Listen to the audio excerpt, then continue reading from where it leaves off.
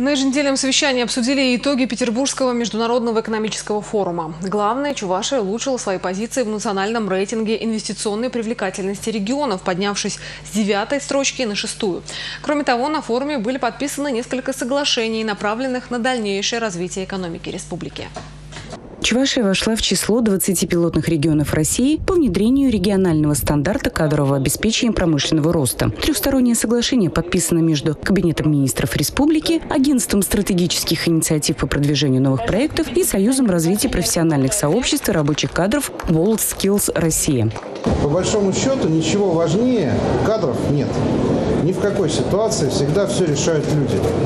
Не вот эта базовая, базовая оценка. А люди – это в первую очередь те люди, которые создают нам э, основу нашей экономики. Это рабочие, это молодые профессионалы, это люди, которые заканчивают колледжи, это люди, кстати, которые после этих колледжей идут и на заводы, и в малый бизнес. Глава Чувашии Михаил Игнатьев и губернатор Кировской области Никита Белых подписали очередное соглашение о торгово-экономическом, научно-техническом, социальном и культурном сотрудничестве. Документ стал логическим продолжением предыдущего, действовавшего 15 лет. Сейчас и с точки зрения транспортно-логистической это сделать это проще, да, то есть работает э, система э, перевозок в рамках межрегиональной э, авиации, там, собственно говоря, дороги так или иначе ремонтируем, становимся ближе к друг другу.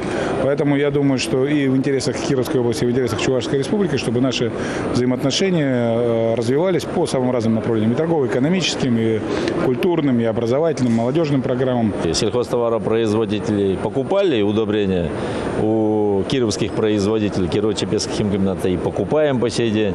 Наши производители им продают средства защиты растений. Дальше промышленности, они на взаимовыгодной основе выстроены отношения. Касаясь сельского хозяйства, покупаем у них племенной скот, наши сельхозтоваропроизводители под э, определенную государственную помощь за счет э, бюджетных средств. Э, современные технологии развиваются. Последние вот эти штрихи или инструменты, которые начали и мы применять, и они тоже очень здорово продвинулись, это туризм. Развивать государственно-частное партнерство в Чувашии поможет одноименный центр. Речь идет о привлечении частных инвестиций для реализации значимых проектов. Это проекты в области общественной инфраструктуры, а, строительство школ, больниц, детских садов, дорог, мостов. Э, ну, собственно говоря, та инфраструктура, которая пользуется ежедневно а, граждане республики. А, это новая модель государственно-частное партнерство, это новый, новая модель госконтракта, которая предполагает долгосрочные отношения инвестора и государства более чем на три года. Соглашения о ГЧП и концессионные соглашения могут подписываться на 15 лет, на 10 лет, на 20 лет.